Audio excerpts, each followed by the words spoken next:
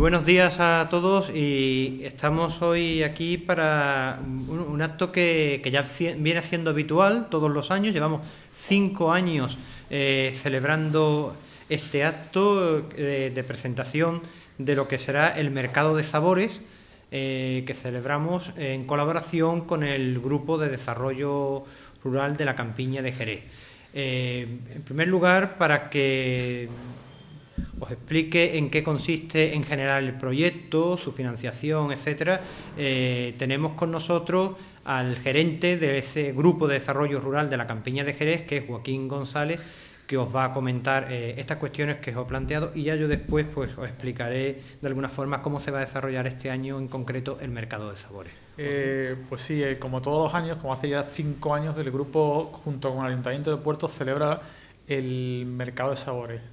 Este año, dentro del proyecto de difusión de productos agrarios, un proyecto financiado con fondos FEADER, financiado por la Unión Europea y por la Junta de Andalucía, para difundir lo que son las producciones locales, que es uno de los objetivos del Grupo de Desarrollo Rural, de cualquier Grupo de Desarrollo Rural, que es eh, facilitar que la producción local, la producción agrícola tradicional de nuestra zona, pues llegue al consumidor, al consumidor más cercano, en este caso en un sitio como el puerto de Santa María. El Grupo de Desarrollo Rural, por si no lo conocen, es una institución sin lucro, una asociación en la cual eh, pertenecen actores, personas físicas y jurídicas, privadas y públicas,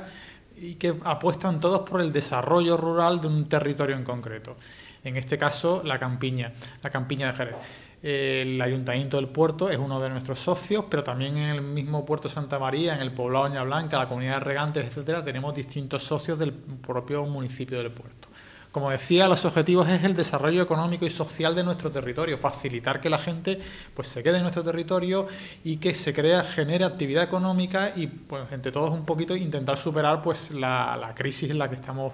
eh, metidos es una actividad más de las que hacemos, el mercado de sabores, como digo, dentro de ese proyecto de difusión de productos agrarios y pretendemos, como todos los años, dar a conocer nuestra zona, además de hacer algo de, economía, ¿no? difundir nuestro territorio y difundir nuestros productos para crear un mercado de lo local, de lo cercano, de lo que realmente tiene más sabor, que tiene calidad y que tiene un futuro económico en nuestra zona. Gracias, Joaquín. Y, esas gracias mm, quiero que se las haga extensivas a todo tu equipo del, Grupo de Desarrollo Rural, porque sé que mm, esto lo trabajan con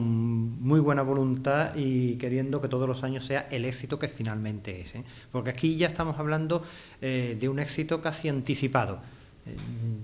llevamos ya cinco ediciones y en las cuatro anteriores cada vez ha ido a mejor.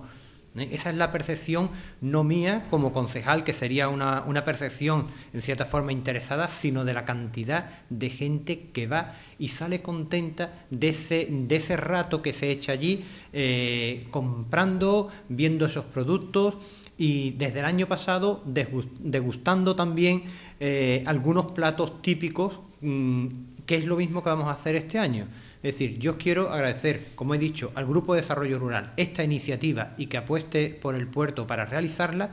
Y también quiero agradecer enormemente la colaboración de la Asociación de Vecinos del Castillo del Poblado Doña Blanca. ¿Eh? ellos eh, van, se van a encargar, igual que lo hicieron el año pasado, de poner un castillo hinchable para que los niños que acompañen a sus padres pues puedan disfrutar también de ese rato que estén allí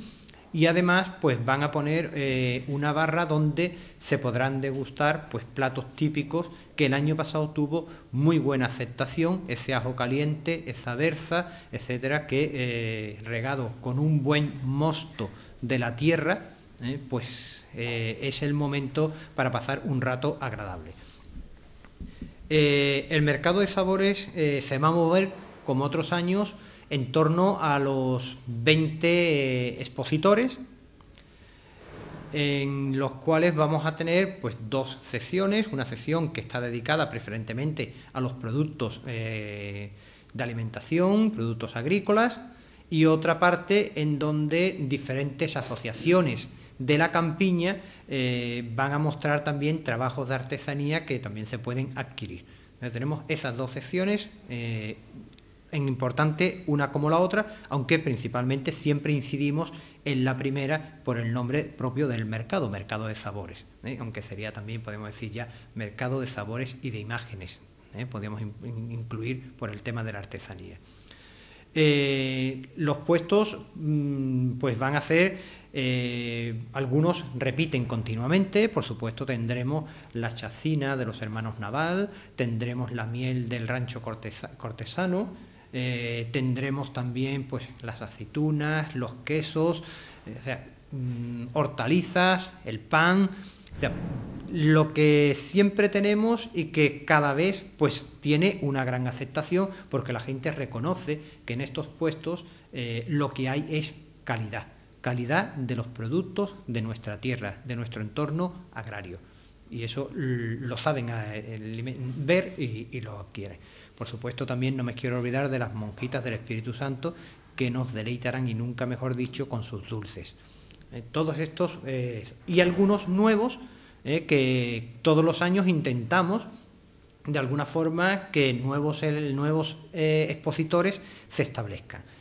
Este año puede, estamos hablando en torno a dos o tres nuevos que no había el año pasado y que puede ampliar mucho más la oferta de productos expositores.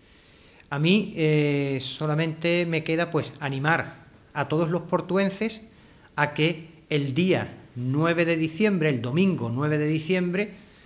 durante toda la mañana, empezaremos en torno a las 10 de la mañana y estaremos allí hasta las 2, 2 y media, yo les animo a que se pasen por el poblado Doña Blanca y además de pasar un día